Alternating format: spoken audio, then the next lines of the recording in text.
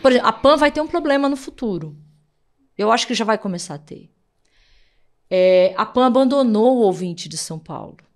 A PAN era uma rádio de São Paulo. E a Jovem Pan abandonou. Quando ela foi para a TV, é, ok, achei super legal aquilo. Acho que o Tutinho é um cara visionário. Né? É, é acho que ele, o que ele fez foi certo. Ele se posicionou. Pro bem ou pro mal, ele se posicionou. Ele quis se posicionar. Criou uma rádio de nicho. A rádio dele é uma rádio de nicho.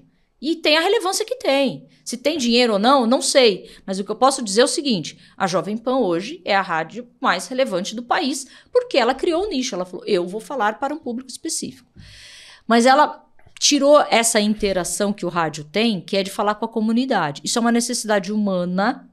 Várias pesquisas que foram feitas é, sobre hábitos de consumo de áudio mostram que as pessoas consomem rádio ou dial ou digital para saber o que está acontecendo no entorno delas. Ela quer saber se vai chover, se vai fazer frio, se está trânsito, é, se, se, qual é a alternativa para ela. Ah, mas o Waze substituiu isso. Não, não substituiu, porque você tem interação de alguém conversando com você, é uma necessidade.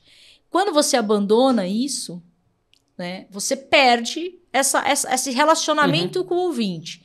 Então eu vejo a PAN, por exemplo, abandonou. Em São Paulo é raro você ver programas de rádio falando de São Paulo. Né? Paquembu tá lá sendo quebrado, problemas tá na cidade. É, é, a gente tá cheio de problemas. Nas... E o rádio do interior faz muito isso.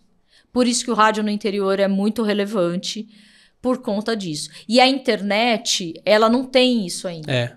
Que é o serviço. É. Presta... O rádio é um prestador de serviço. Não tem nenhum veículo ainda que tem o nível de prestação de serviço e na rapidez rádio, que o rádio é, tem. Que o rádio não tem, não tem. A TV não conseguiu. Até a Globo tenta fazer alguma coisa ali, meio radiofônico, de, mas não, não adianta. A, a, a, internet não consegue fazer. O rádio é aquela coisa. Caiu, estourou uma doutora aqui em São Paulo, na rua tal. Você vai ligar o rádio, Vai ter alguma rádio com um repórter lá, ou explicando, dando alternativa, entrevistando alguém para falar quanto tempo que aquilo ali vai ficar, enfim. Então, isso é uma coisa que o rádio tem, que nenhum outro veículo ainda tem. Se ele começar a abandonar isso também, acabou para ele.